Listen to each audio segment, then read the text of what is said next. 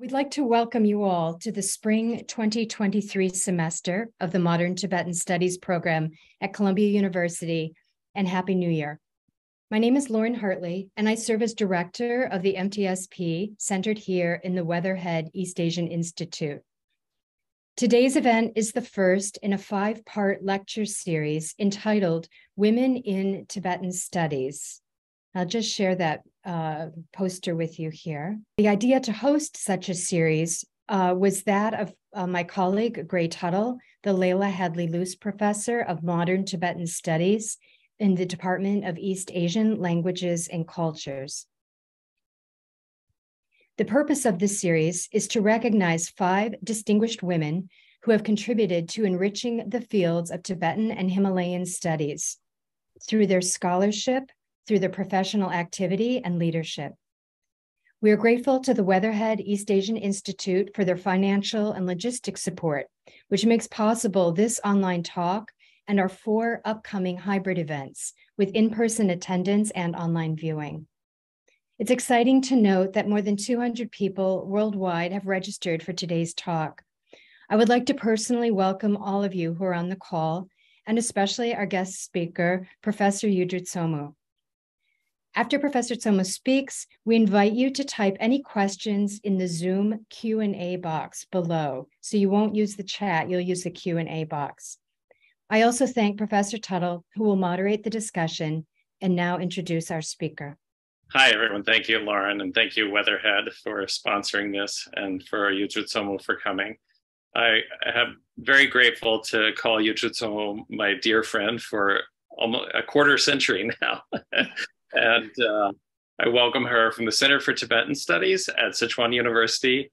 Uh, you'll know her work, uh, her published work uh, based on her dissertation at Harvard, uh, The Rise of Gompo Namgyal, uh, The Blind Warrior of Kham, and also for her important work since that time on the Guozhuang as female inter intermediaries in the tea trade in uh,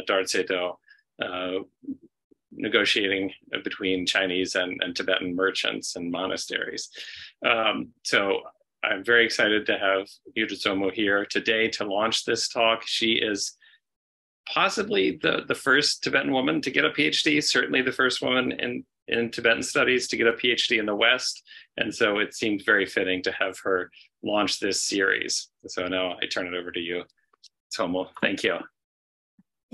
Good morning, and uh, um, First, thank Gray for the nice introduction. And I would like to thank both Gray and Lauren and Julia for uh, making this event uh, happen. And uh, it's my pleasure to start uh, this series. And the title of my talk is Seven, Seven Star Lama's Resident in Kham, Gartar Monastery's Interactions with Indigenous Chiefs and the uh, Qing Court. And so it's a pleasure to share uh, my recent um, study with you. Um, first of all, um, let's look where the Gartar Monastery is, and then uh, I'll talk about um, what sources I use, what questions I address. The Gartar Monastery, uh, you can see here, uh, Gartar.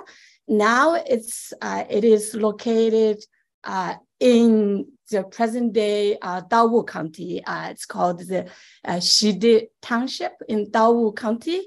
Uh, as you can see, which is now very far from uh, Dazhengduo uh, in Chinese counting or Dajianlu. And it's, uh, um, it's a historical uh, town uh, where the monastery is located at least since 13th century. So um, this monastery was especially uh, built for the seventh Dalai Lama Gesang Gyatso by the Qing court uh, in, in 1730. He lived there for over five years. And uh, later, the 11th uh, Dalai Lama, uh, Kedru Gyatso, was born in a village near the monastery, uh, which became uh, well known in both Kham and Central Tibet. So throughout the, its history, the uh, monastery had been greatly valued and supported by both the Qing court and the uh, Tibetan government. Um, uh, however, uh, very little uh, scholarly attention has been paid uh, to both the seventh Dalai Lama's um, influence in Kham in light of his residence in Gartar Monastery or how the monastery was established. And so uh, to date, if you look at the uh, mm, li um, literature about the seventh Dalai Lama, you will see that most of the literature actually focus on, has focused on his activities uh, in central Tibet. So little attention paid to his uh, stay in Gartar and um, there there have not has not been much discussion uh, about his interactions uh, with the indigenous leaders, uh, indigenous chiefs in the region. Uh, also, in particularly, very little research in English devoted to the history of the uh, Gartar monastery itself. also neglected has been Gartar's influence in Kham after the seventh Dalai Lama left for central Tibet in 1735. As I will show that it has always been a very important um, uh, center of uh, Buddhism, as well as culture and religious center up until maybe um, end of the uh, Republican period. Um, so uh, let's see, in, in it's, it's a very detailed article and questions uh, to be addressed in, in this paper uh, have uh, six of them here. So at a very crucial period in Tibetan history, um, turbulent uh, politics forced uh, removal of the uh, sixth Dalai Lama. And then we, I, in the paper, I discuss why did the Qing court decide to have the seventh Dalai Lama move to Gartar in Chinese Taining um, um, Gartar region in the 1730s. Um, and then second part of my paper, I discussed why did the Qing choose Gartar Monastery to be his resident monastery. Uh, and, and then the third part is very detailed uh, because of the time constraint. I won't be able to probably go very much into it except to highlight some of the um, special or unique features is how was the monastery constructed? How did Gartar relate to other local monasteries and indigenous chiefs uh, in the neighboring areas? And then fourth one, um, uh, I specifically, uh, I especially focus on after the 17th, uh, 7th Dalai Lama left Gartar, why did the Qing court actually prohibited um, uh, Gartar monastery monks from propagating the Gelu teaching in Chuqing in Chinese in Jingchuan and Zanha um, in Shaojing after these two regions were, were pacified by the Qing in 1776. Uh, and then um, the next part uh, in my paper, I look at the role of Gata monastery in the local affairs of the Kham after the seventh Dalai Lama left in 17, uh, uh, 35, especially what was the role of the Gata Monastery in obstructing Han Chinese traders from engaging in gold mining in Gata in 1905. Um, so these are the questions I uh, have explored in my paper, uh, but in the talk, I will uh, pick uh, and uh, focus on more of his interaction with the indigenous chiefs and monasteries. Um, then let's look at um, what sources are just very briefly. Yeah? Um, the sources, the Tibetan primary sources are mainly used for this study is the biographies of uh, the biography of the seventh Dalai Lama by Jangja Rilpa Dorji, and then um, supplemented with the biography of Gandan Rinpoche, uh, Aritu Nomenhan, who was the tutor of the seventh Dalai Lama. And furthermore, as you can see, um, I also look at the biography of Rilpa Dorji by uh, Tukun Chuchinima, the biography of uh, Draya Chitsang uh, Losam Nangje, um, and then also the uh, successive abbots of the Changdu Changpaning, and, and etc. So um, in addition to the biography itself, I uh, supplement with other uh, Tibetan sources to allow me to do uh, research. Uh, for the Chinese one, um, mainly uh, Qing Shilu, the relevant records in Qing veritable records. And then I also used, I only list the main ones, uh, a general history of Tibet, the general history of Wujiang, uh, where um, I can find uh, information of the Chinese uh, officials traveling through the region, uh, their description, and then um, one of the most important uh, first primary uh, source is um, diary of my Tibet trip or my Tibetan trip uh, by Prince uh, Go uh, Yongli, who was uh, sent by the uh, by the emperor to escort um, the seventh Dalai Lama back to to send him off back to central Tibet together with the Jangja Hutukatu. So he his diary has a very detailed account of uh, his stay with the Dalai Lama uh, in Gartar Monastery and also description of uh, the surrounding area, a nice description of the uh, monastery. And then um, I also used the inscription of the uh, Gartar Monastery um, and made, um, made uh, by a per imperial order. there we can find um, reasons why the emperor um, established the monastery and why he sent the uh, Dalai Lama to uh, in, in, exile in the uh, in Kham, and uh, another one is Gazetteer of uh, Prefecture. So uh, other Tibetan sources, secondary sources, or mainly in Tibetan secondary sources, I want to single out is one of them, a brief account of origin of Minya uh, in this book by a very well-known local um, scholar, uh, Jaba. He has a section about a long section about the Gartar Monastery, um, and the others. Um, I uh, try. Uh, I have managed to gather together uh, also secondary source uh, by another author, Droma Chenzo, uh, about the Gata Monastery, and then um, in when I uh, discuss the uh, monasteries' relationship with other monasteries, uh, I've used some of the history of uh, Monastery in Minya, history of uh, um, uh, Gunung Monastery, uh, also in Minya, in one of the books called History of Monastery in Ganzi. And these are also supplemented by various folk stories collected in the region. So and that's the sources I use. Uh, and so um, for, then I'll turn to the first part, um, uh, discussing the historical background for the seventh Dalai Lama's exile uh, in Gartar. I, um, I assume most of my audience probably are familiar uh, with the background, so I'll be brief here.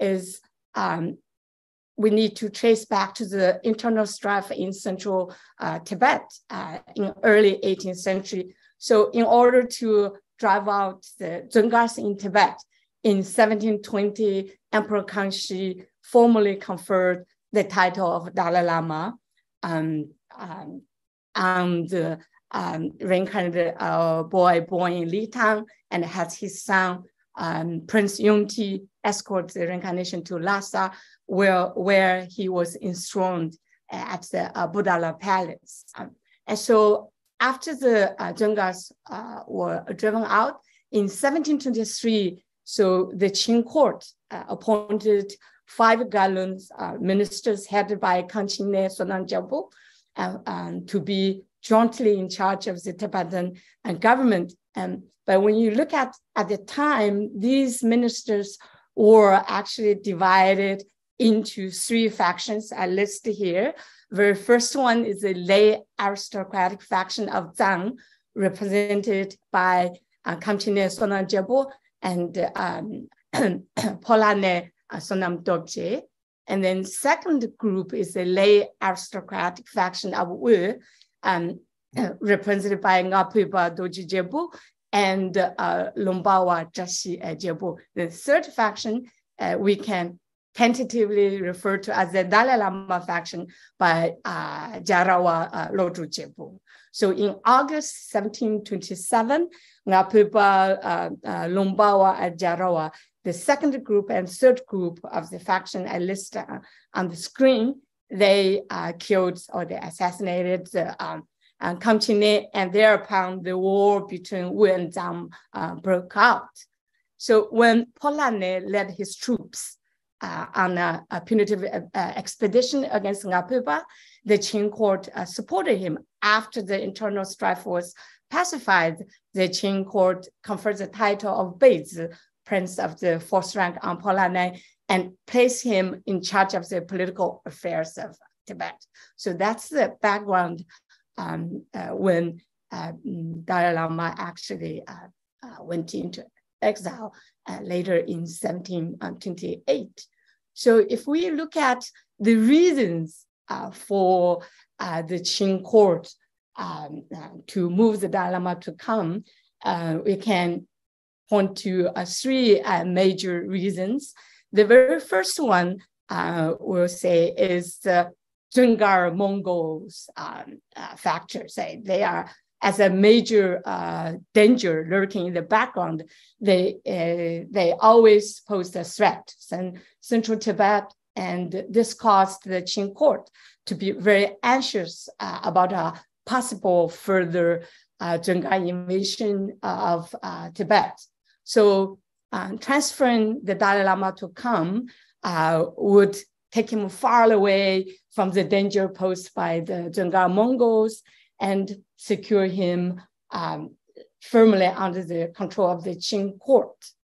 And so um, another uh, reason is as one of the measures taken by the Qing court to deal with the aftermath uh, of the 1727 internal uh, struggles, uh, in Tibet, sending the Dalai Lama uh, to, into exile paved the way for Polanyi Sonam Dorje um, to take charge of Tibet affair.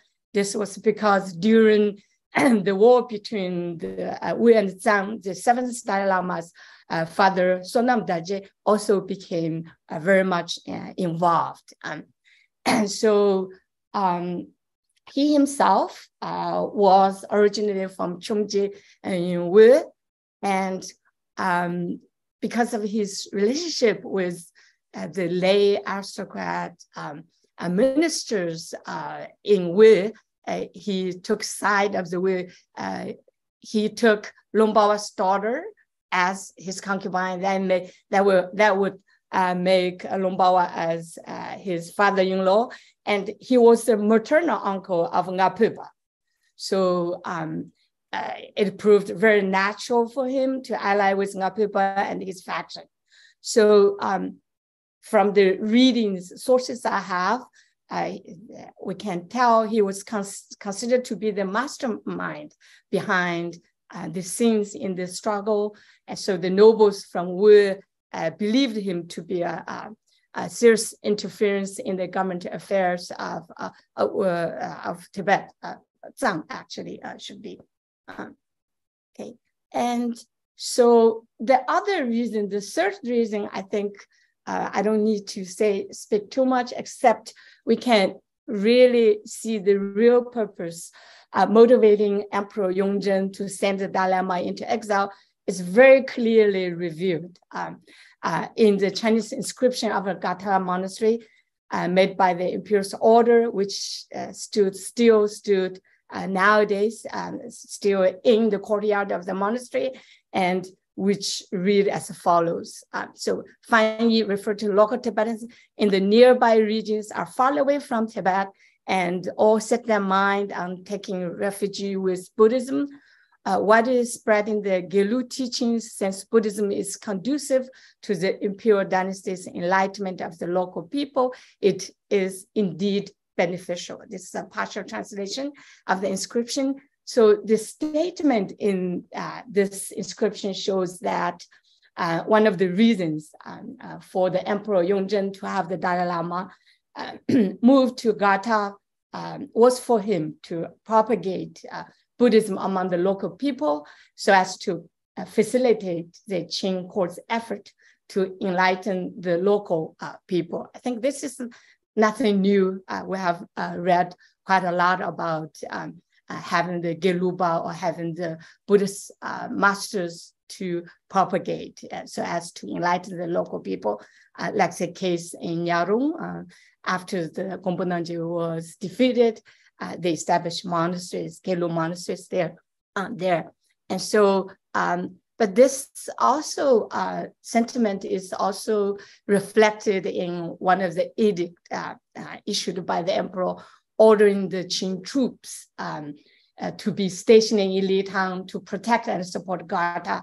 And the edict says if Buddhism is to be revived and invigorated, the monks in the western frontier uh, will be uh, will all obtain uh, uh, reverence and compassion, uh, claiming to seek liberation. These monks will cease their intention to kill and they will generate goodwill and thereby the frontier will, for a long period of time, enjoy the blessing of the peace granted by the emperor so that we can live up to the intention of the Shengzu, the compassionate uh, uh, emperor. I refer to the emperor Kangxi to draw over people from afar and to be compassionate uh, to them.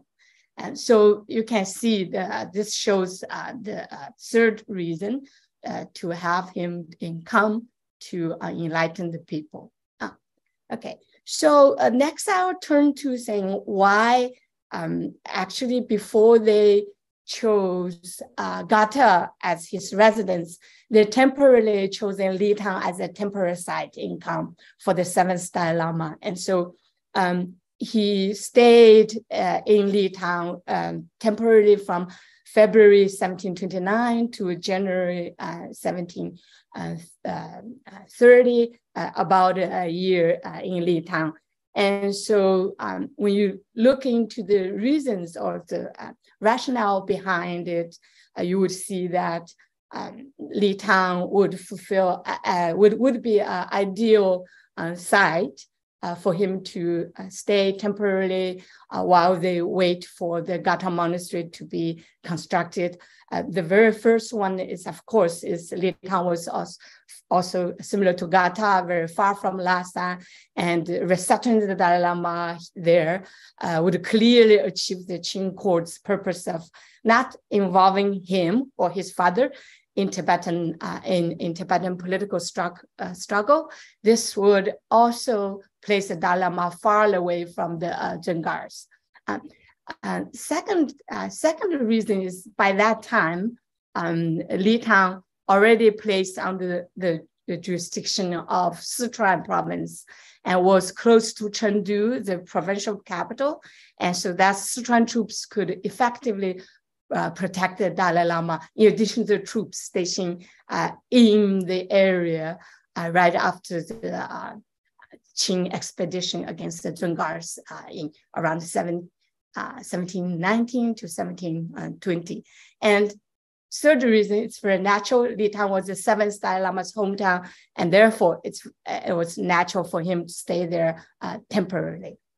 but soon they moved to Gata. So I would like to show you why they chose Gata, uh, what's the uh, uh um, advantages of Gata over uh, Lithang.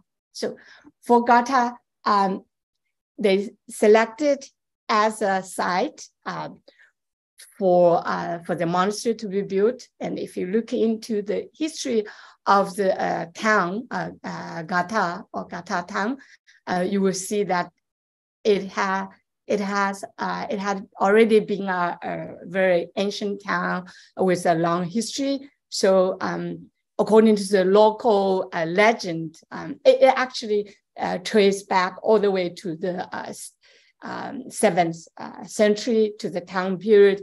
According to the local legend, when Songtsen Gampo was minister, there were no minister. Ga Dongzhen returned to Tibet from Tang capital in the mid seventh century, he was finally able to escape um, pursuing Tang troops by reaching this uh, region. And so this area, it's called Gata in Tibetan, literally mean the place where Ga Dongzhen escaped. Um, so these are the uh, sources I have for the folklore about uh, trace the origin um, uh, way back to the seventh uh, century.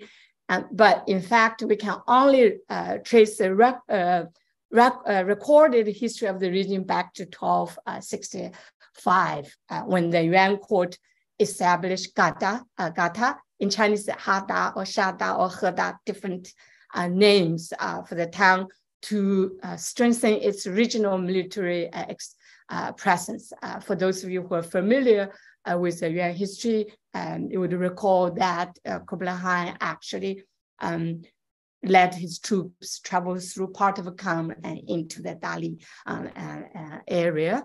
And so uh, um, in 1265, they established uh, this town uh, to strengthen the, uh, its regional military presence. Um, so um, Gata's strategic position made it the seat of, in Chinese called Dogan Hada Li Tang, Yu Tong Den Chu Qian Liang 总管府啊。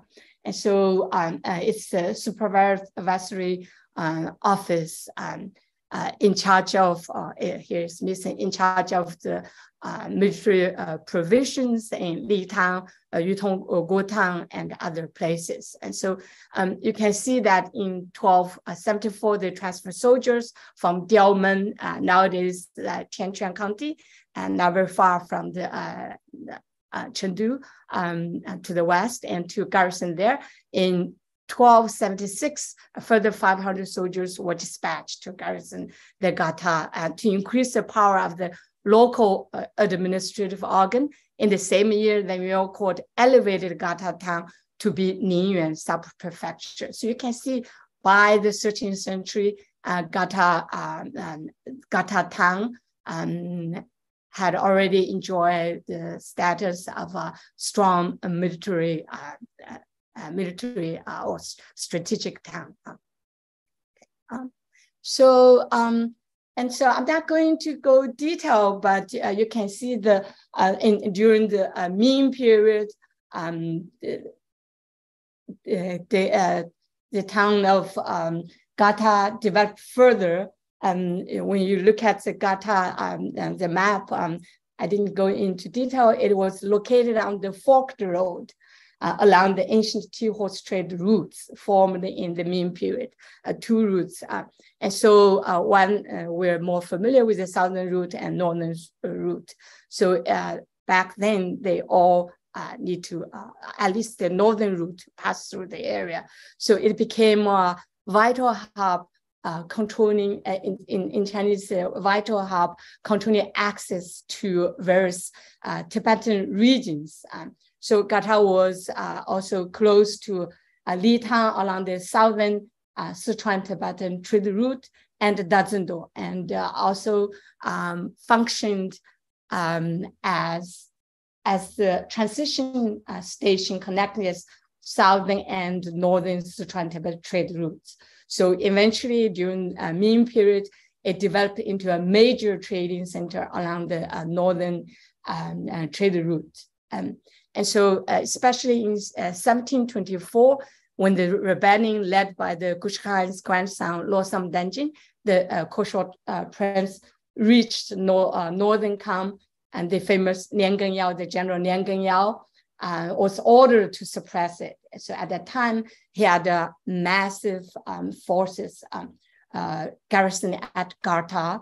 The next year, Sichuan governor um, uh, Wang Jinghao ordered construction of the earthen town of um, uh, Gata based on the original plan and the building of the barracks. So um, with so you can see um, with the natural river, the Yalongjiang, as its natural cover for defense, Gata could reinforce its advantageous position within the three ferry stations of Nyachu and very far uh, in uh, present day uh, Nyachu County, uh, Yajiang County. So um, compared with uh, Litang, you would have further um, uh, defense uh, like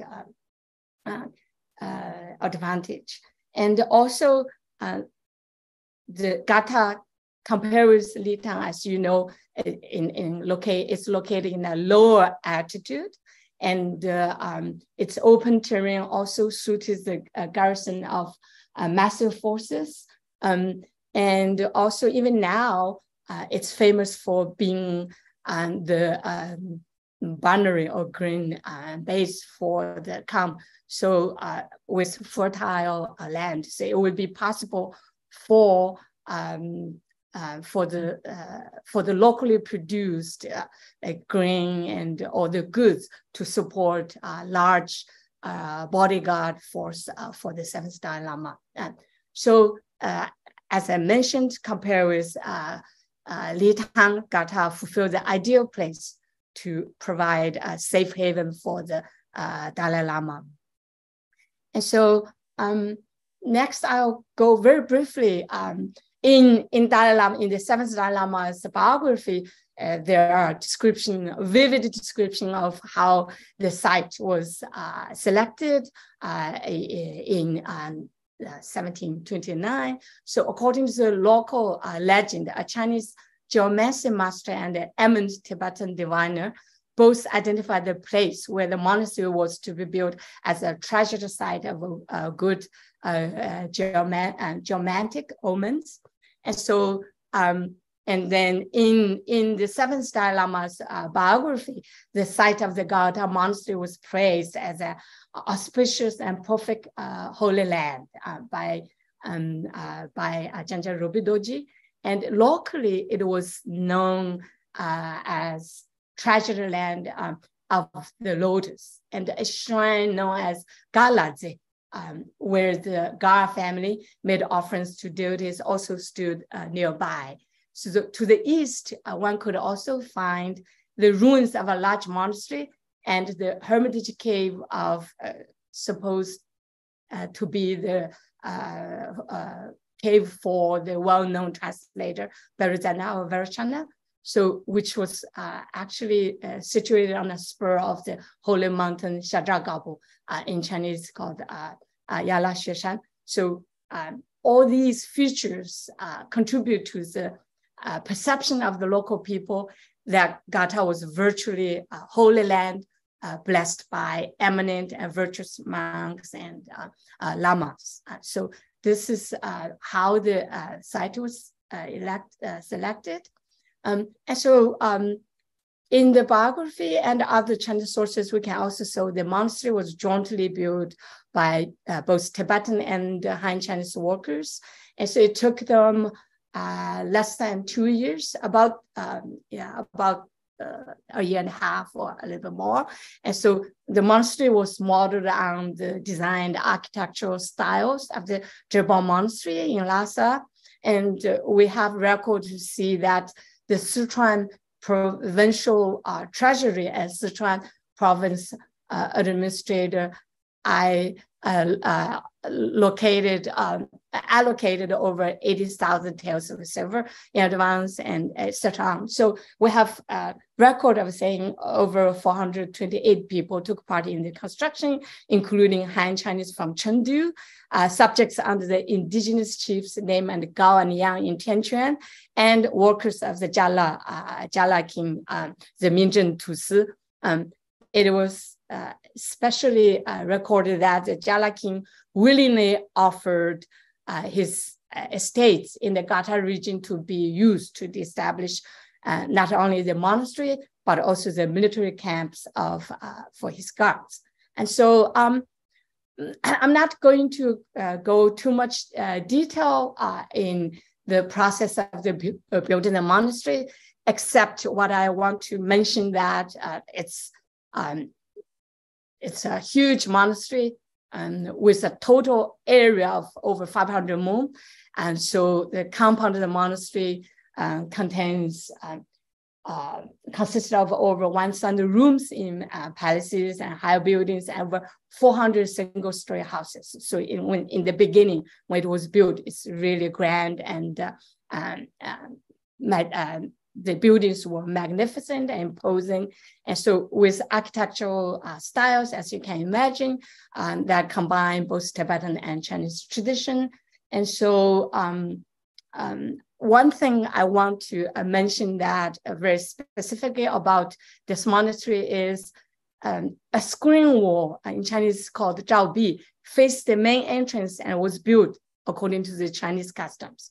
And so among all the monastery in Kham, Gartar monastery was probably the only one to have such a wall. So you can see the strong influence uh, there. Um, I'm going to, uh, because of the time constraint, I'm um, probably going to skip a little bit uh, about the uh, layout, except what I want uh, mention is uh, even now uh, in the courtyard, uh, there are a few inscriptions, a bilingual Mongol-Chinese version called Inscription of Gartar Monastery made by the uh, Empress Order, which I quoted uh, earlier, and the inscription of Prince Guo's order to Gartar Monastery in Chinese, erected in 1735, and uh, also the inscription of Prince Guo's poems. and what I want to point out uh, in right above the middle section of the main gate of a, a assembly hall, uh, there were uh, nine lines and uh, uh, carved in different shapes and with varying continents to symbolize the Dalai Lama. So, and then in, in the space around the main gate, um, carving of the nine dragon representing Qing Emperor. So the number uh, nine represents the highest of the positive number that's um, nine dragons and nine lions carved on the main gate embody the exalted status enjoyed by the Gata monastery. And this is a, a picture of uh, this I just described, the lions and the dragons on the uh, side.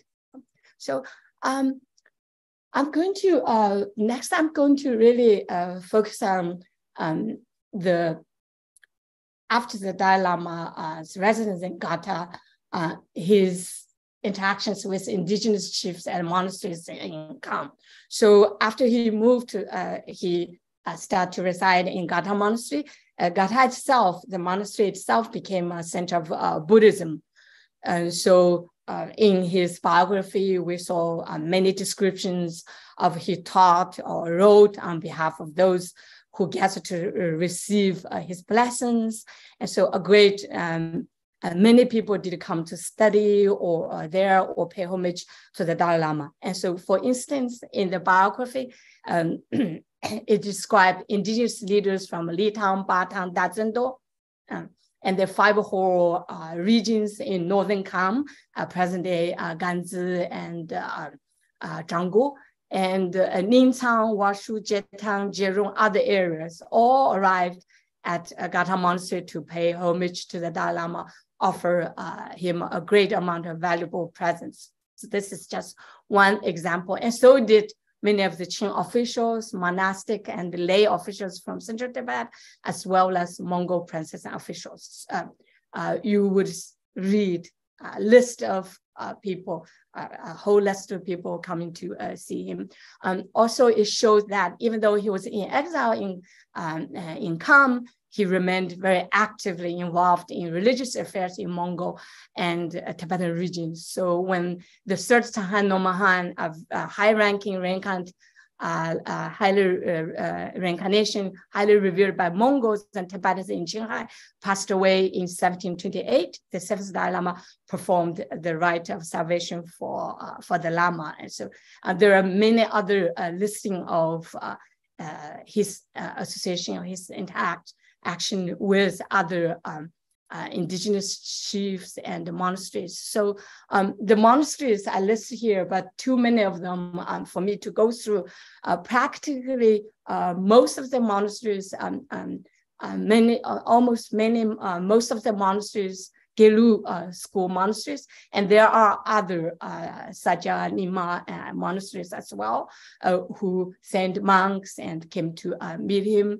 And then their listing of years, like here, say 1730, 1732, 1734, um, he performed religious rites and distributed alms to monasteries near Litang, Jietang, Minya, and the areas of the five whole uh, chiefs in northern Kham and elsewhere. Um, so um, in his biography, um, there were uh, passages describing that he wrote and determined the territorial limit for some of the monasteries like Gandan, Songzani, Jietang, uh, Degumbu Temple under the Kansa chief uh, in Ganzi, and composed monastic rules for Gandan Nanjini of Zhanggu and Shutang Monastery of Nashui in um, present day not true. So I'm not going to go detail, but you can see uh, he has maintained extensive connection with not only the monasteries, but also the indigenous chiefs. Um, for the indigenous uh, chiefs,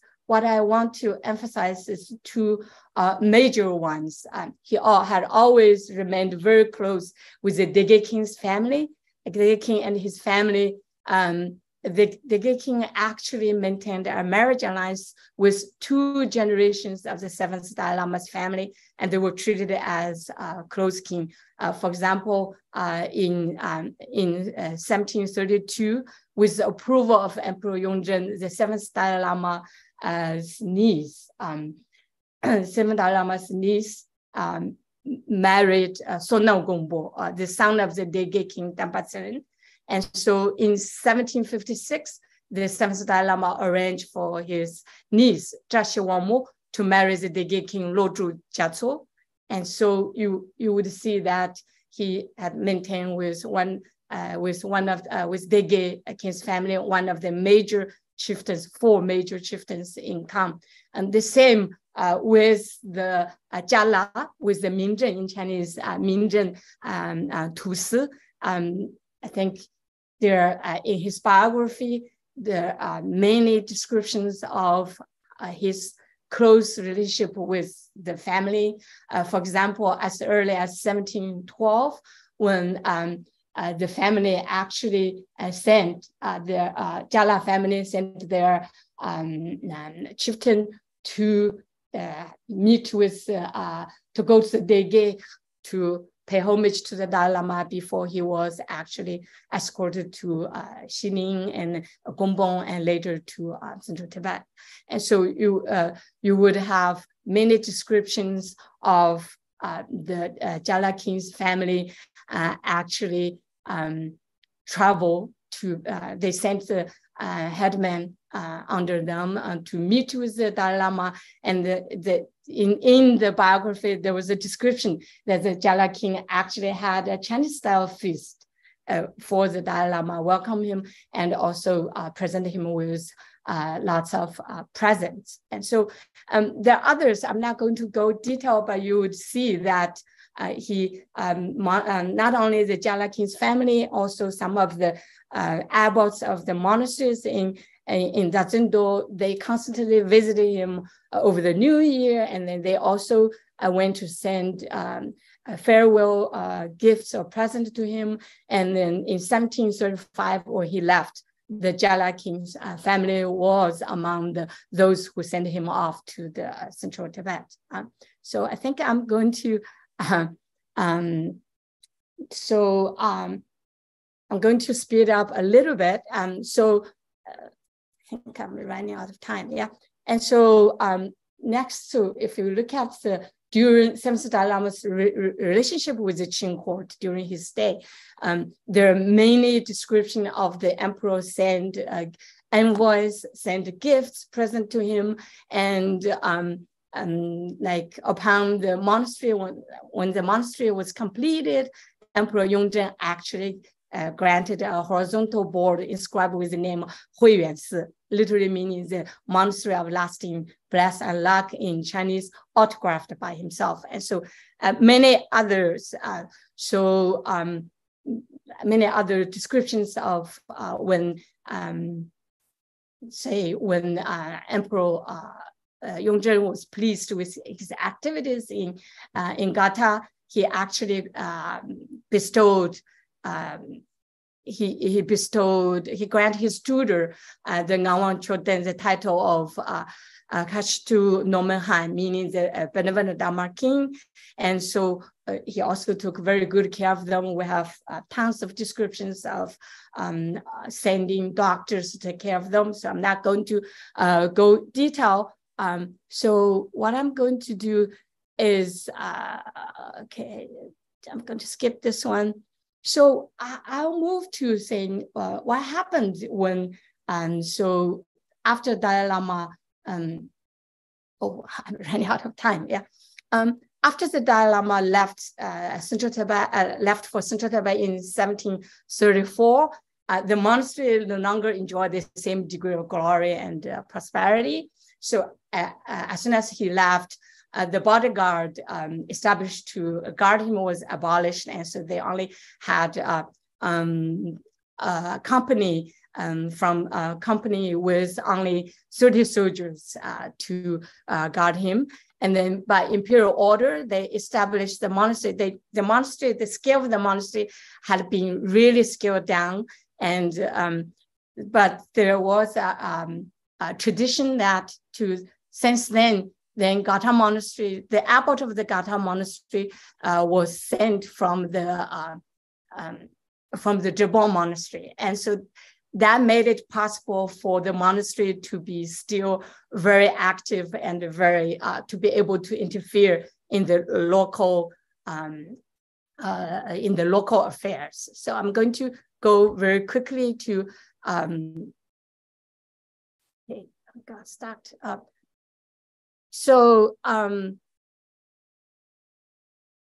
uh, the the one I mentioned that um, why it still enjoy uh, great power. Um, one of the incidents that the second reincarnated Lama, uh, Gyaltsung Chodro Gyatso, um, uh, um, abbot of the present-day Nyingma Monastery Gunu, uh, Gartar Monastery abbot actually issued an order forbidding any expansion and renovation of the Gunu Monastery. And so he even imprisoned the monks under the um, uh, uh, under the uh, Gunsang uh.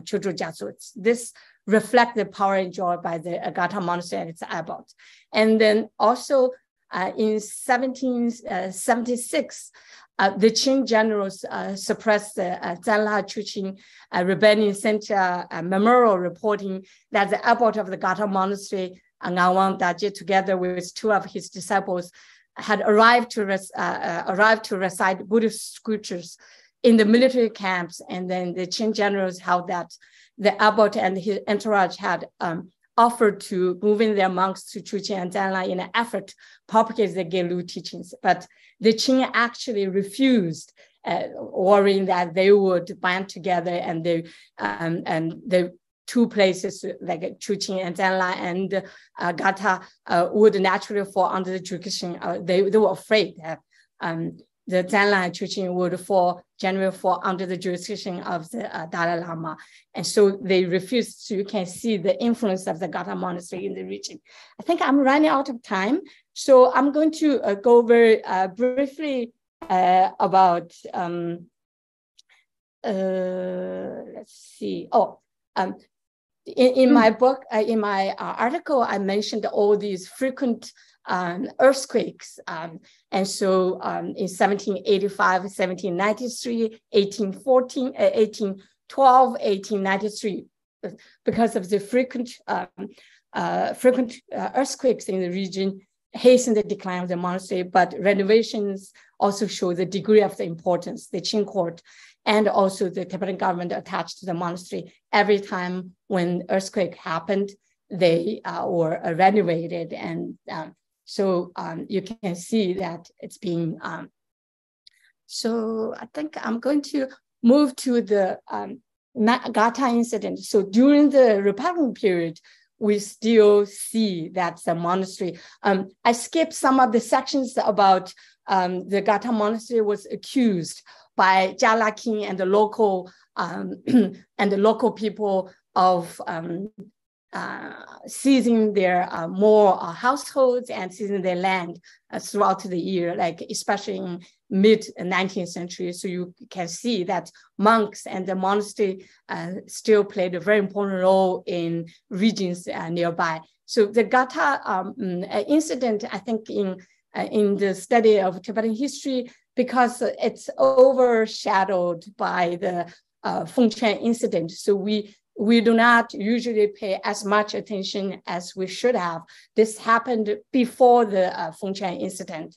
So in 1905, uh, when the um, Dajianlu sub-prefecture uh, established a gold mine, and so when they started to operate, um, the uh, monks and abbot of the monastery actually stopped uh, try to stop the miners to do the gold mining because in the past the taxes were paid to the monastery uh, in secret. But now, uh, since it's uh, mining operated by the Dajianlu sub-prefecture. So the monastery lost tax money.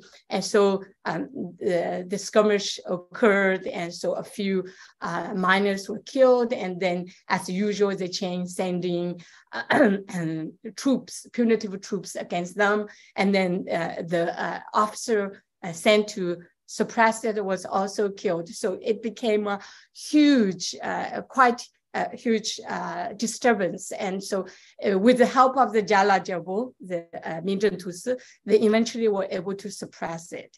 And so um, uh, in, in, in a sense, uh, this, this was actually the very first uh, in the late Qing, uh, the conflict um, or, um, between the monster and the Qing over the um, control over the tax or taxation of the uh, mines. And so I'm, I'm, I'm going to very, uh, go very briefly during the Republican period, you would still read that the monastery continued to be a culture center in Northern Kham and the Holy Land for Tibetan Buddhist followers. And, and so local people still revered the uh, monastery because it's a resident monastery for the Dalai Lama. So you, uh, in um, according to the sources I have in 1928, 200 monks reside at Gata Monastery. And this a sizable population that made it the second largest monastery.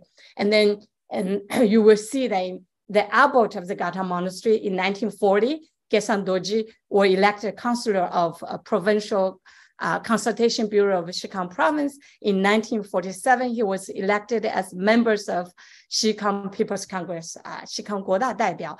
These actions fully reflect the importance of the monastery. And so I'm going to uh, go uh, jump to my uh, conclusion here.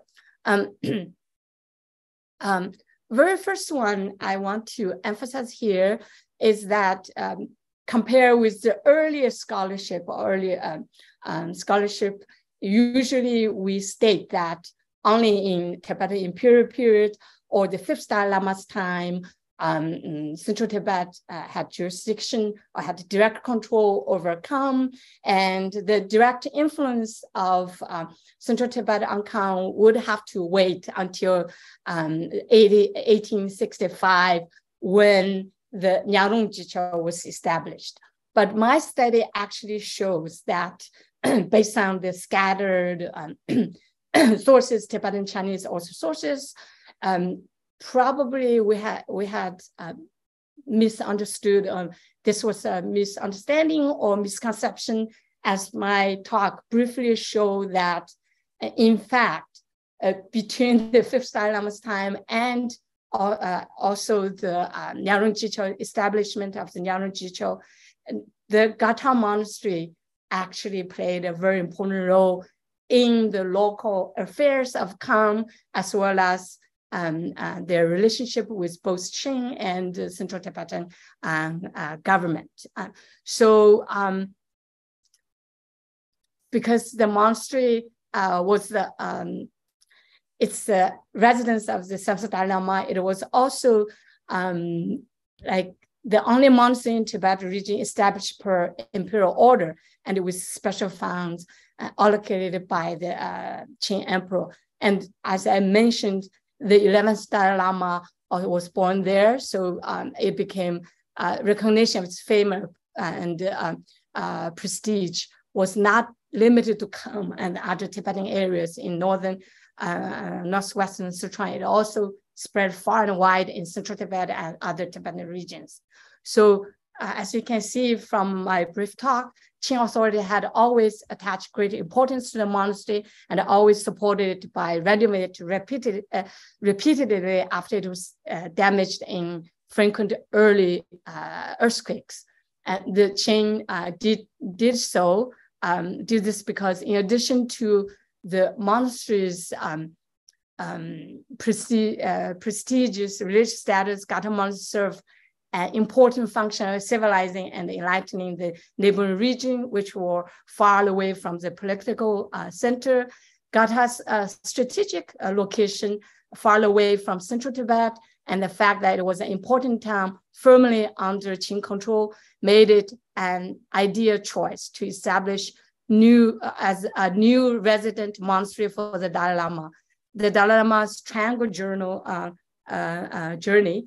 In, in my paper, I traced um, his trip to Dege after he was uh, born, and to Dege and to um, Xining, Gongbong, and to Central Tibet, and then to uh, to uh, Litang and Gartar and back to Central Tibet. So you would see it's look like a triangle or journey. The trip from his birthplace, Litang to Dege, from Dege to uh, Kokonor, from Kokonor to Central Tibet, from Central Tibet to Kham and back to Central Tibet actually expanded the scope of his religious activities. As I mentioned very briefly, um, uh, there, there were full uh, many, many of the religious activities engaging both the local monasteries and the indigenous uh, chiefs. Um,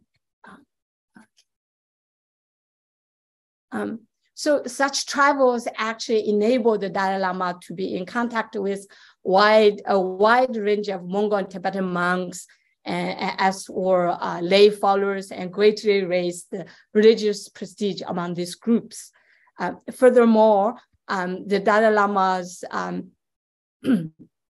um, seventh Dalai Lama's interaction with various indigenous leaders, local monasteries, um, um, also um, and lay people, uh, monastic and lay people strengthened his relationship with them and increased the influence of uh, Gelu school uh, in Kham. Um, uh, Gartar Monastery had become not only an important center for the Gelu school, but play a dominant role in inspiring indigenous chiefs to support the Dalai Lama. And seventh Dalai Lama's uh, residence in Gartar, on the other hand, enabled the Qing court to move the military center of gravity from Hualingping, Jiasangkan, and nowadays in um, Luding to Gartar, further uh, west.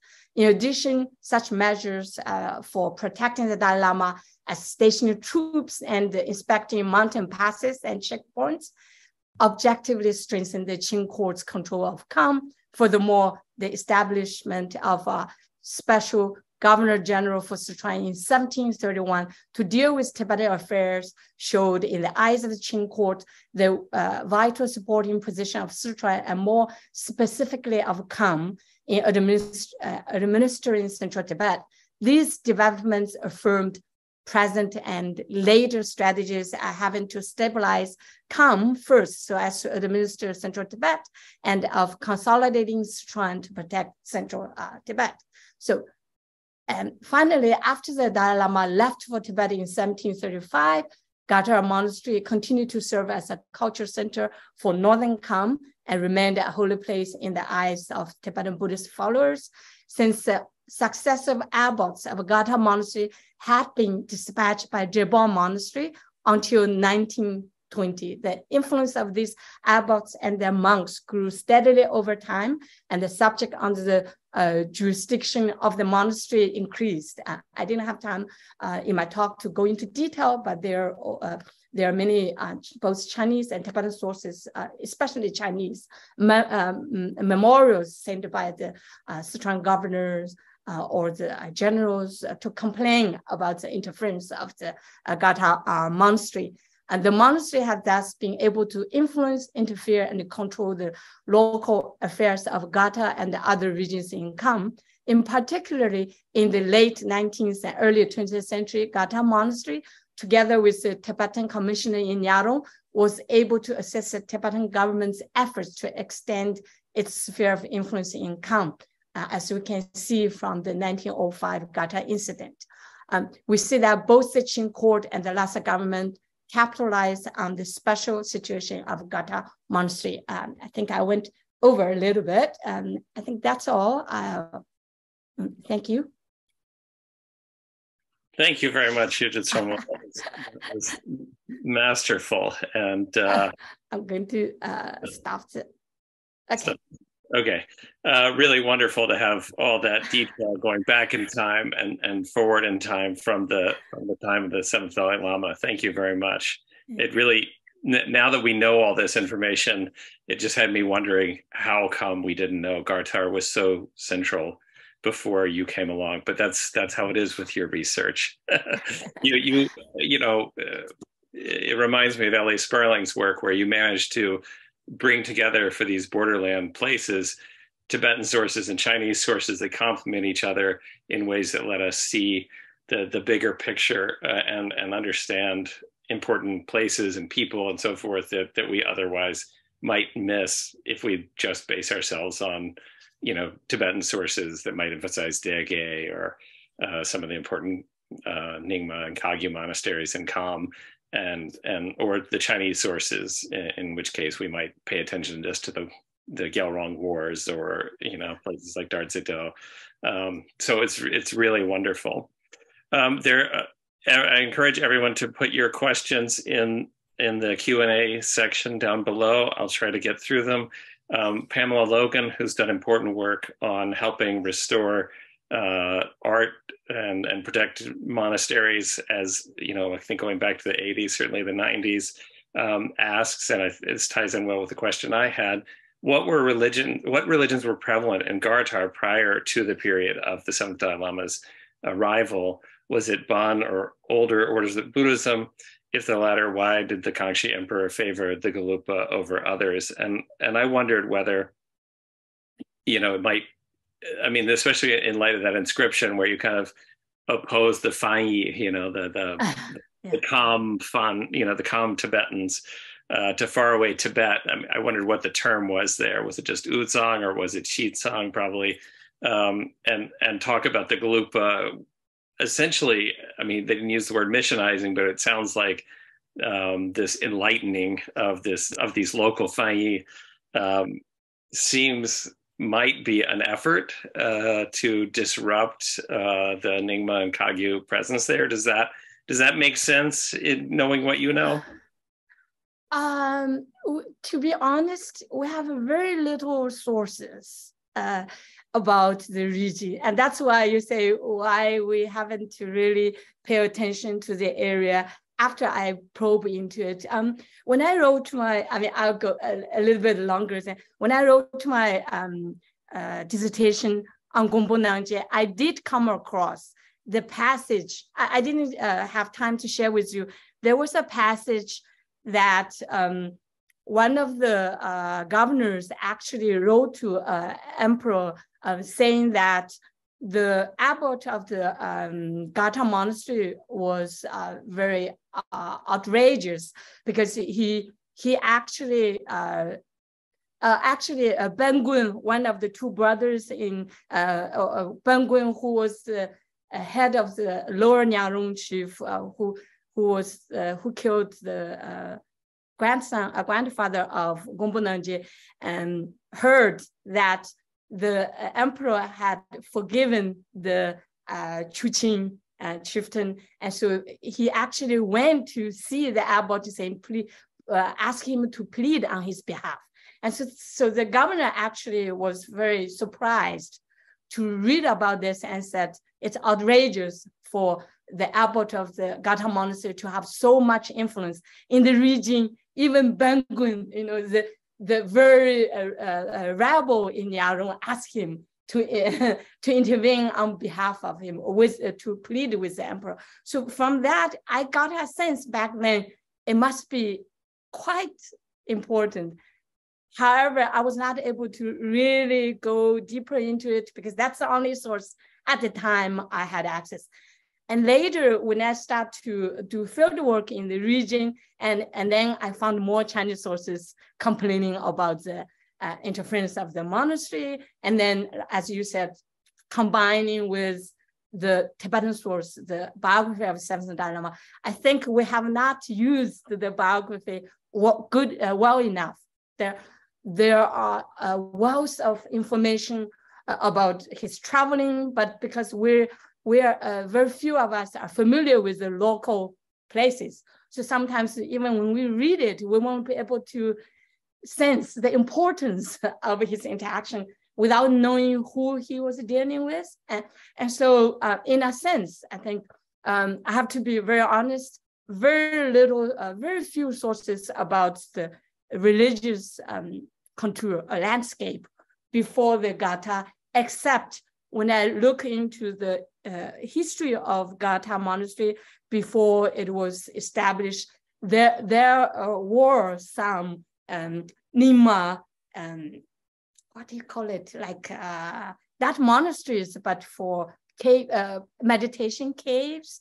Mm-hmm. And uh, as I mentioned here, they have the cave of Vairochana, the Beruzana, but this one, you know, you will find Beruzana caves all over Gyalrong, all over these places. So I don't know how much we can read into it.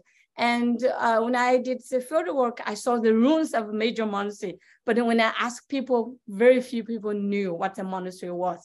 But my guess was that Nyingma and the Benpo, um, based on um, the monasteries uh, left in part of Minya, in very close to Gata, um, the, there are uh, sizable Nyingma monasteries and some Benpo monasteries, uh, even now, quite active. Um, but uh, but I don't. Um, my guess is they were not like the Gata had the imperial support, had all this support from even uh, Jala, Jala Jebu, Mingzheng Tusi. Uh, later, of course, he was complaining that they took over too many of his households, but he voluntarily donate um, the um, uh, monasteries. So in that sense, I think the Gelu monasteries uh, compare with those minor, smaller uh, Nyingma and the Benpo monastery in terms of the scale, they were bigger. And for Nyingma, as we know, there were so many Nyingma monasteries in Kham.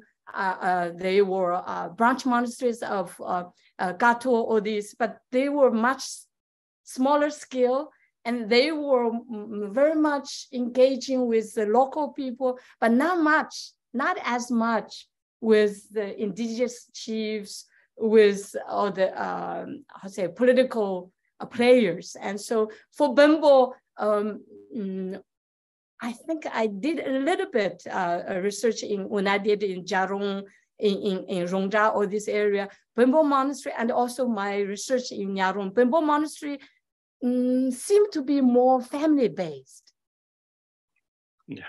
Uh, family based, not as bigger scale, but they were there. Uh, like they were influential among the local people on on uh, maybe daily basis.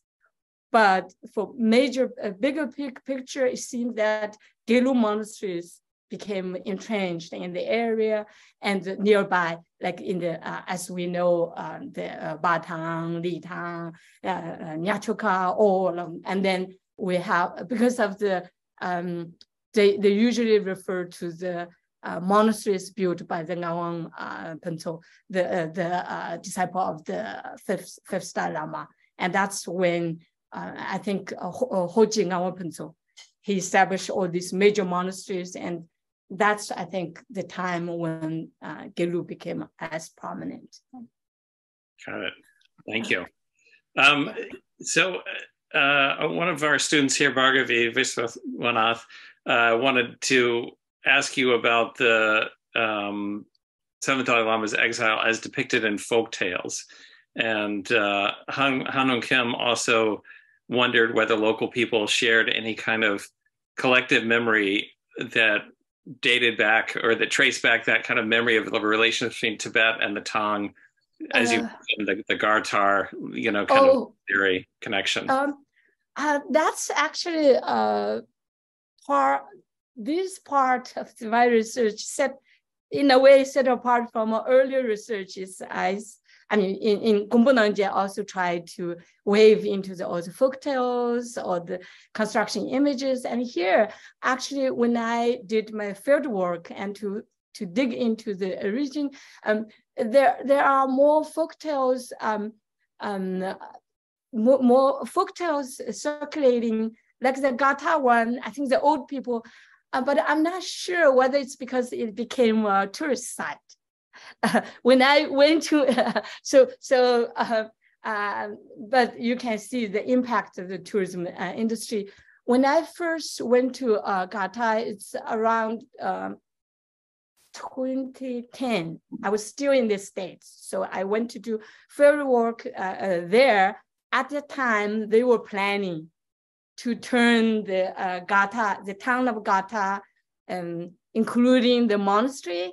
And uh, in, in, the talk, I didn't have time going into it. In fact, on the opposite uh, side of the monastery, there or uh, there was there is a um, village uh, uh, inhabited by descendants of the Chinese soldiers who were sent to garrison the region. And so um, there, um, at the time, uh, uh, 2010, they were planning to establish as a tourist site, including both region. And so they were debating what to present to the tourists. Gartar Monastery, of course, it's like Gelug Monastery, uh, well known for the seventh Dalai Lama staying there and uh, its association with the 11th Dalai Lama. Um, uh, in, uh, in, addition, um, they also um, said that the monastery, they can um, emphasize the influence of the the impact of the Chinese architecture, combination, blending of Chinese and Tibetan styles. So it's a very good theme uh, for the uh, contemporary uh, publicity. But at the same time, they had a hard time to really, uh, how say, feature what Minya is. Because this region, uh, Gartar region nowadays is considered to be part of Minya.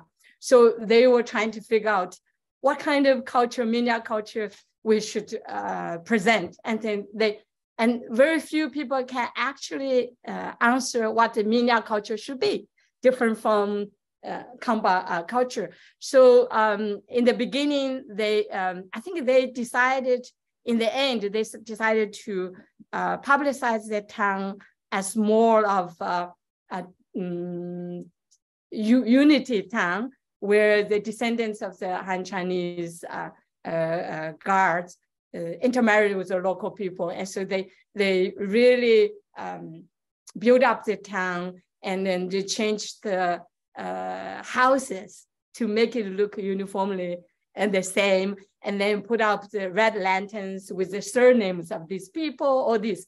And so um, what I, I mean, because of the tourism, when I did my field work, many people they they will they they are used to telling all these reporters or these outsiders about their um, like history. So I encountered many of the uh, elders, younger ones. They really pointed to um, saying, "Okay, this is this is where the uh, Gadongza actually escaped. Uh, this is the uh, mountain." And then they also pointed to this is the ruins of the Gata uh, uh, family they claim that his family uh, home, original family home was there. So in terms of that, I think there are many uh, folk literatures um, in, in, in a way capitalized, or I don't know, uh, to be useful for the uh, local people to project that image. Um, and so um, for others, um, in, in, terms of their uh, memory of the seventh Dalai Lama, um, again, I can see it's uh, the entire landscape is uh, full of all these memories.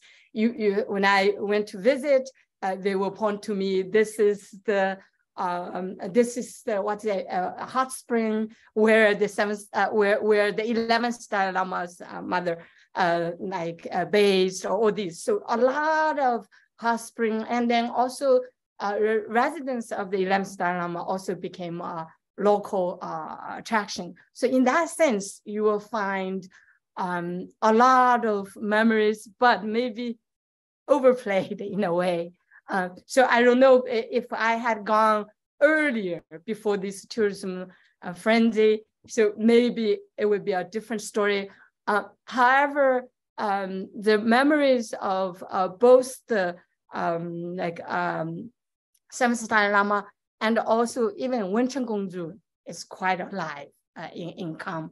And in, in Lagang, um, I think uh, Cameron Warner probably wrote about that as well. There was a statue uh, supposedly brought by Wencheng. And so um, one thing I think I can share is uh, I haven't um, finished my research about the folk, uh, the operas they perform in the monastery I was told by my informants that um, when they um, performed uh, a chant the, the and, and all these religious dances, they actually, in the end, they incorporated somebody who represent, uh, uh, who presented as a Han Chinese playing uh, flute and who was considered to be the uh, protective deities uh, for the Chinese descendants who live in uh, as the uh, dissident, uh, descendants, Chinese descendants of the guards and who live in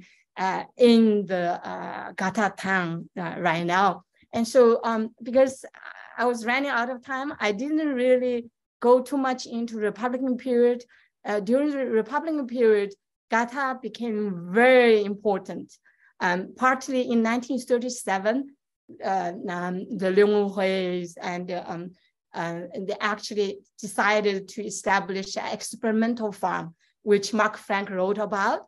And so uh, the status of Gata uh, was elevated to a region, sort of like a, a settlement, but a region um, higher than township, but lower than uh, county.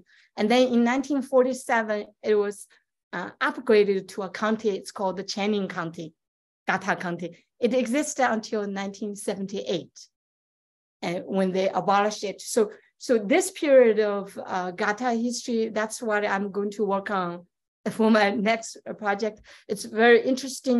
You would see different players uh, uh, uh in the field. You have um, and warlords, uh, Liu Wenhui, you have abbots of the Gartar monastery, then you have the um, magistrate of this county, uh, Gartar, uh, Gartar County, and um, I had sources saying the magistrate intermarried with the local Tibetans, and there were a lot of complaints about this magistrate uh, for cheating on the uh, taxes or, or, a lot of lawsuits. So it's very interesting um, to see, to, to delve further into a Republican period.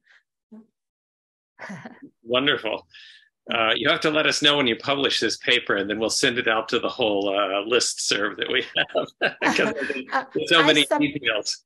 Uh, I submitted to a SOAS bulletin of SOAS. They have accepted accepted, but I don't know when. It's been okay. quite so, long, two years, I think. well, we'll, we'll know where to look for it. Um, so the next question I wanted to get to is. Um, I'll try to combine some questions by two two graduate students here, Peldon Gale and Tenzin Yewang Dongchong. Oh. Um, uh, so Peldon is wondering about the fact that the Qing court stopped the influence of Gartar and the Drepung sent abbots over the newly pacified and Gelugpa converted Gyalrong polities of uh-huh, uh-huh, uh-huh. Do you think this yeah. indicates a jurisdictional conflict, or is it because these polities were ruled by Qing magistrates?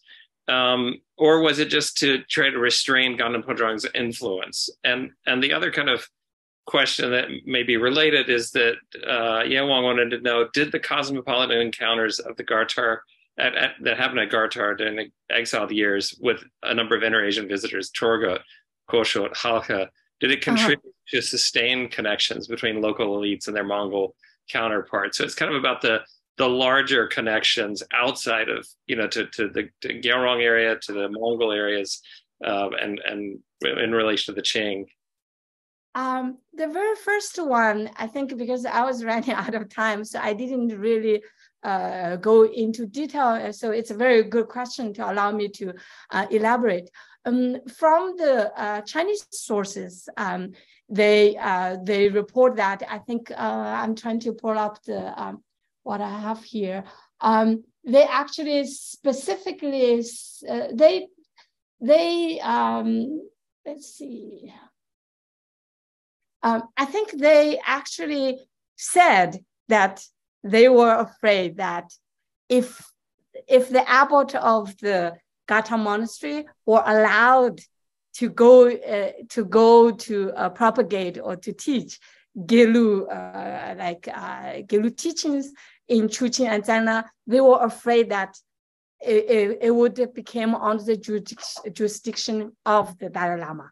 So I think it's there, the element of for fear that the Ganden Phodrang's uh, influence will um, uh, will uh, expand it into uh, the area. Um, and that's uh, one thing.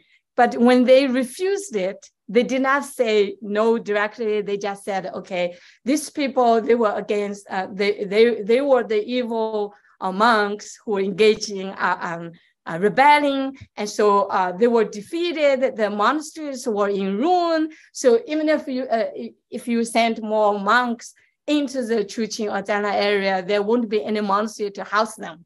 That's the official um, um, reason they gave. Um, but I think they, they're afraid that it will expand the uh, Ganden or the Dalai Lama's uh, influence. That's very um, much clear in the writing itself in the um, uh, in the Chinese uh, sources I have. Um, um, the second one, uh, what's the question? I forgot. It's about the, the Mongols who came from from far far afield to meet. Oh, for that one, um, I I think I read so much. As I mentioned, the Seventh Lama's biography.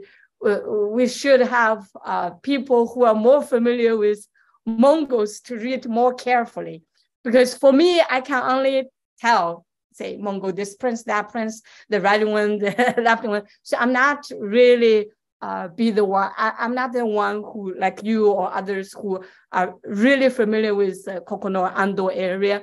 So should read into that, and and probably you will find a wealth of um, um, uh, information. I I've tried to encourage my Amdo friend uh, Doma. I said you should do it, you should do it, but she's uh, she's doing something about the Chahan Nomahan. She's busy with that. So um, but it's very difficult for me to find sources to allow me to trace whether any of the contacts has um, uh, has taken shape or have become a permanent tradition and to send, continue to send uh, or continue to contact with Gata. Um, the sources probably, at least uh, right now, the sources uh, would not allow me to really um, explore that end. So, um, but my guess is if we can find more biographies of the lamas, or or especially um, Denropes or um, say genealogy of these uh, chieftains or these local chiefs or kings. Like we have Dege one we do, we have Muli Chechum, but that's all. And for for Jala Jebu we don't have. And for many of the other major uh, chieftains, very few, uh, Kansa, we do have a later book about uh, Kansa Jianggun, um, but very few of them we really uh, have, especially for Mongol one, I don't know whether um, we can um, find uh, sources to allow us to see whether any of the connections actually continued. Um, except some of them, uh, the connection he established, I didn't have time to go into detail in my talk, uh, is that his connection with the Litang Monastery it continued, and Litang Monastery um, constantly sent people to uh, meet him when, while he was alive, and also requested that the abbots of the Litang Monastery should not be sent from central Tibet. And they made the argument that when the abbots left, they took all the possessions to central Tibet, and then the monastery lost them. And so all these, and then um, uh, he's also uh, his connection with uh, um, one of the Nyingma, I think, uh, monastery. It seemed to uh, be very strong. He granted the uh, Lama with the title of, I think, uh, one of the four Shabets.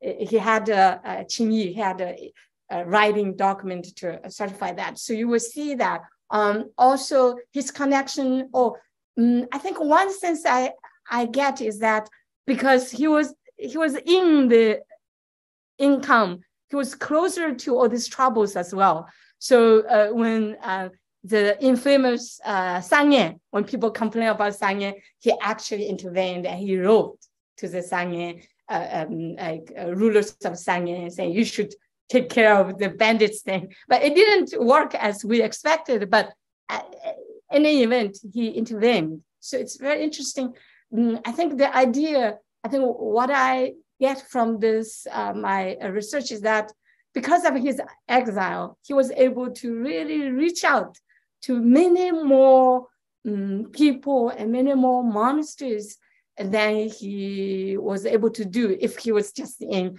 Potala. I mean, there would be some indigenous chiefs or major chiefs or monastery monks, lamas who would go to pay homage, but not to that extent. And so I think this is uh, something um, maybe your student, if they have enough sources, they can really go um, dig further into it, like what uh, Curtis did with the fifth Dalai Lama. I think the seventh Dalai Lama's biography. There's so many informations for people if they are interested in gifts and exchange all these tons of information. What things were given and or, uh, on what occasion. So it's very. Um, I think your student probably will be the one who can uh, dig further. But at least um, the the part of his travel uh, when he was escorted to um, from Dege to uh, area, a lot of description of who came to see him, what gifts presented, and what kind of contact he had in Gombong and in all this. So I think it's it, it should be a very a good source material, uh, primary source for um, any of your students to explore, to see at the time who were in power or who were influential uh, for the Mongol prince uh, or, or this, even the lamas, yeah, the um, uh, Tibetan lamas who were uh, influential in the area. And you can probably figure out the network itself. I think it's, uh, mm, but for me now, I can't really uh, answer. Yeah. I understand. It is. It, it's important for people to know that you know that that that source is now available in Chinese and Tibetan, so that if you don't know Chinese, or if you, I mean, if you you can kind of use those things to refer to each other. You can figure out the Chinese characters from the Tibetan and and vice versa. Um, yeah, yeah. And there's a, a, translation of the Seventh Dalai Lama's uh, biography by a scholar uh, yeah. uh, from Peng Wenchen mm, uh, from Qinghai. Um, it, it, it's very it's quite accurate in terms of uh, content but the uh, places you need to identify yourself because usually uh, they they sometimes he does identify the place in the footnote but a lot of times because he's from Amdo, he's not familiar with Kham so he will not do the same. But I, I wished or I hoped he would have done some identification with the uh, side, and then I'll have a better idea of what went on. But at least it's a good place to start. I think uh, he did the uh, pioneer job, you know, to figure out uh, the basic content and then uh, give me a clue saying where to look. And so I, I, I really appreciate it. Yeah. Yeah. Fantastic. Well, we're we're pretty much out of time. There's so many more questions. Uh, a lot of people were asking kind of along the lines of the earlier question about the oral history and maybe also about the other histories like how how much can we trust them? How much do we think they're accurate? Of course these are all tough historiographic questions that that you know we could we could argue about for a long time. I mean these these are hagiographies the Gelugpa hagiographies. Yeah. There are questions. um, that, yeah. yeah. i think yeah. you're right. Um when I uh, I got a comment from one of the reviewers saying that I'm privileging all the Gelu sources, but so so I have to acknowledge when I revise it, saying that I'm forced to uh, to privilege their sources because that's the only sources available to me. Uh, but but I try to also get hold of the other version of the Seventh Dalai Lama's biography published in exile and it's the author was not given it's anonymous. So i'll try to compare them. Um, i can i i found out a lot of uh, core parts were similar. So my guess is no matter who wrote it uh, either uh, uh, or the anonymous author they they had a core like records list of uh, his activities to work with so in a way i tried to mitigate the uh, Gelugpa reading or the uh, Qing reading because I use a lot of uh, official records.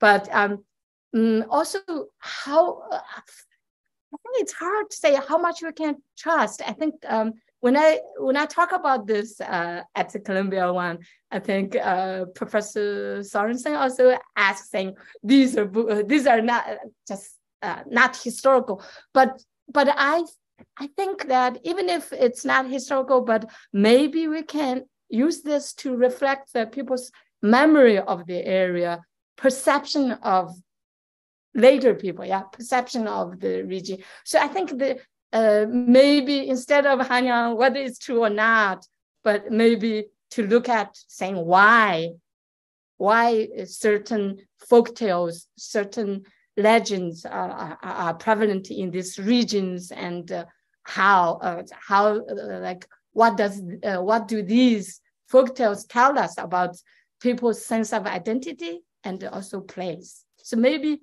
that's one way to deal with this. Yeah. Wonderful. Thank you again, Lauren. sent out the okay. um, the link if you want to register for future events, and also uh, Yudru Tsomu's talk will be posted soon, so that you can catch up with all the details if it went too went by too fast. thank you so much again. Thank you for your time and all your research. Yeah, thanks it's nice to see you uh, virtually. I haven't seen you for a long time. And thank all of the listeners. And also, um, I, I also thank you and Lauren and Julie to make this possible. it's a challenge in a way. right. Okay, thank you. Right. Bye-bye. Okay, bye.